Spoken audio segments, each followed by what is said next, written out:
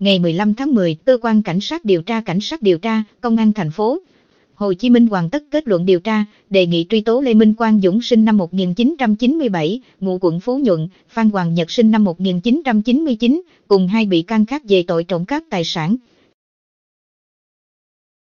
Dũng và Nhật là người chơi thân. Đầu tháng 3 năm 2018, Nhật hỏi dây Dũng 200 triệu đồng để cho người khác mượn. Do mẹ không đồng ý đưa tiền để giúp người chơi, Dũng lên kế hoạch trộm két sắt của gia đình.